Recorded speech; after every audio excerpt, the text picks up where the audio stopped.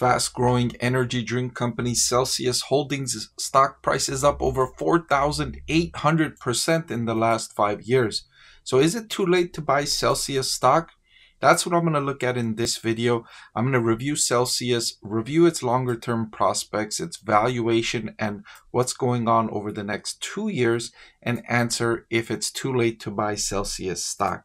But before I get into the details, let me thank subscriber Ron Matthews and Trishelle Hartman for requesting this video. If you would like me to do any video that you're interested in, please comment in the section below and I'll try to put it on my list of stocks to do a video on. So let's jump into this one. I want to thank The Motley Fool for sponsoring this video. Visit fool.com slash parkev for the 10 best stocks to buy now. I mentioned already you can see 4,800% growth for Celsius stock. That's come in the last few years alone. Of course, this hasn't been without cause. Celsius's revenue has jumped from under 300 million in 2022 up to 1.149 billion in the trailing 12 months. Of course, this has been helped by investments from Pepsi, which helps with distribution and entry into these locations. It's not easy to get shelf space in these critical supermarkets, convenience stores, and on and on. And Pepsi helps Celsius gain access to those areas big grocery store chains and big store retailers don't like to give shelf space to newer companies because they haven't proven themselves yet. But the relationship with Pepsi gives these retailers trust that Celsius can handle the increase in demand, refilling inventory, logistics, fulfillment, and all of that, right? You've got to be really good at logistics if you want shelf space in a supermarket. These are fast moving items. You got to replenish that inventory. You got to serve it really well. They don't like to see that shelf space that's dedicated to your beverage remain empty, right? Grocery stores like you to be good at what you do. And the relationship with Pepsi gives it trust, gives it recognition, and that's helped Celsius gain access to more shelf space. It's also doing really well online. Its health benefits and its promised improvement in metabolism is really fueling results for Celsius, and that's all been a boom for revenue growth for Celsius. As you could see, explosive revenue expansion here from a beverage company. This is something you see from an AI stock or an AI company. So this is truly impressive to be sure. Perhaps more importantly, Celsius has used that revenue growth to boost profitability. It's not just growing revenue while generating losses on the bottom line. That would be a lot less impressive. No, Celsius is growing revenue, and that revenue growth is helping it make progress on profitability. In the most recent trailing 12 month period, operating profit margin of 15.21% is the highest in its recent 10 year history. You can see it improving from negative 20% in mid 2022 all the way up now to 15.21%. And all expectations are that profits are only going to increase from here, not decrease, only increase from here. So this is just the beginning for Celsius. It's likely to move upward from here. And I can show you that in Wall Street analysts that are following Celsius stock, according to their forecast, it's expected to grow revenue by 39% in 2024 and then another 31% in 2025. For the bottom line, analysts expect Celsius to increase earnings per share by 27.5% in 2024 and then 40% in 2025. Like I mentioned earlier, the company's profits are only expected to expand from here. So, solid prospects going forward for the next two years expected for Celsius. Not only is the company profitable on the bottom line, but it's also generating strong cash flow from operations. That metric improved to 6.38% in the most recent trailing 12 month period. That's up from a low of negative 30%, and that's been falling recently.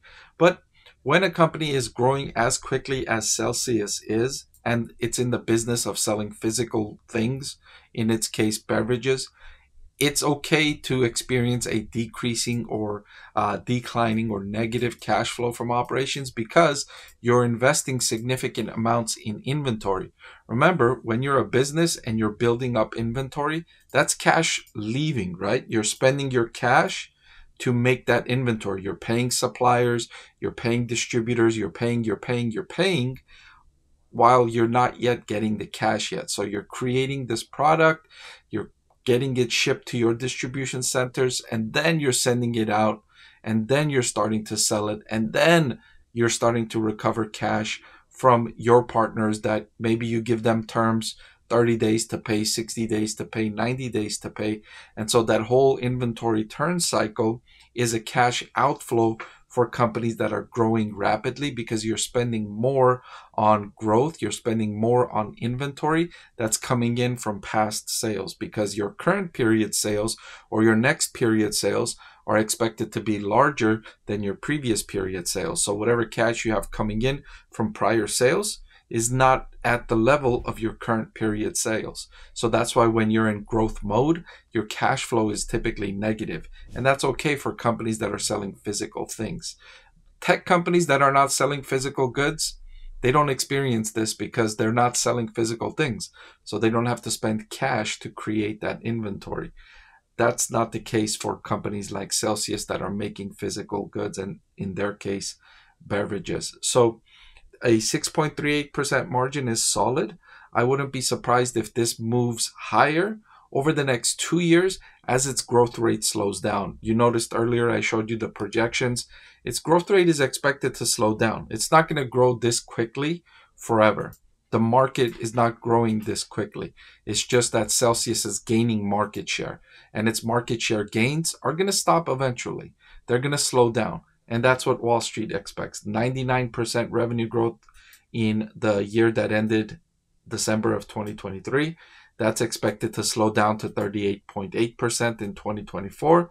And then it's expected to slow down again to 31% in 2025. And I wouldn't be surprised if 26, 27, 28 is a continued deceleration of its revenue growth trend over the next few years as it gains larger scale, increases its market share, and reaches the limits of market share gains. And so then from that point on, it will grow at roughly the same rate as the industry, the energy drink, uh, healthy drink industry growth, which it is gaining market share overall people are becoming more health conscious, choosing healthier beverages over the less healthy, sugary drinks of past times. And that's partly why PepsiCo was interested in investing in Celsius.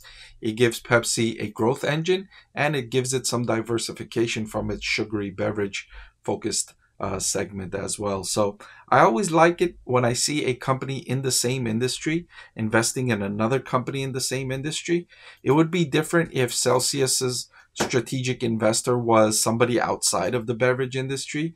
But when PepsiCo is investing in Celsius, that says a lot more because PepsiCo understands what it takes to succeed in this market and they're investing in Celsius. So that says it a lot. That's like a stamp of recognition saying that we agree, we like what they're doing, we think they're poised for success. All right, and finally, I want to look at its valuation. Celsius is trading at a forward price to earnings of 39, which is not ridiculously expensive which is surprising, right? You might think a stock that's gone up by nearly 5,000% in the last several years would be ridiculously expensive, but it's not because that stock price increase has come along with increases in revenue and profitability and cash flow. So it's been justified by the growth in the fundamental business prospects. It hasn't been growth on just hype alone. So all things considered, with this valuation, I don't think Celsius stock is expensive. I also don't think it's cheap. I think it's a relatively good value, just barely. Uh, I would have preferred if the stock was trading at a forward PE around 30, 32.